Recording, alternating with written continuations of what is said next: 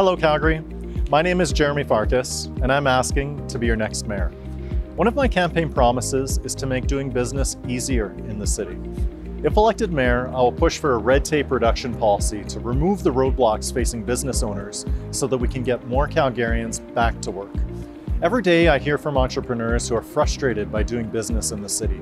Simple things like permit approvals often take months or years instead of days or weeks.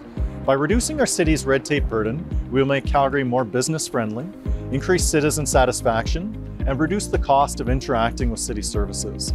This will improve day-to-day life in Calgary while incentivizing investment into our city to be able to get us back on top where we belong. Calgarians are ready for change and change starts now. It's time to reduce red tape in our city. My name is Jeromy Farkas, and I'm asking to be your next mayor.